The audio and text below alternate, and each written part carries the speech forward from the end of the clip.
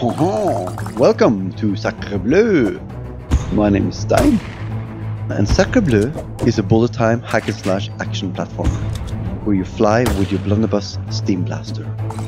The focus is to create a flow in combat where you quickly plan your moves and then perform them as gracefully as possible.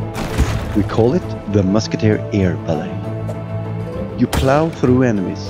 It is all about the fun and silliness, but practice and your grace and score will improve as you unlock more content.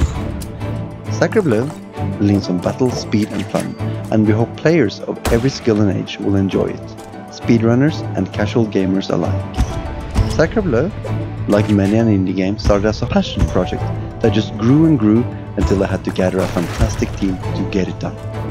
And voila! For the price of a big bag of croissants, Sacre Bleu can be yours. All yours.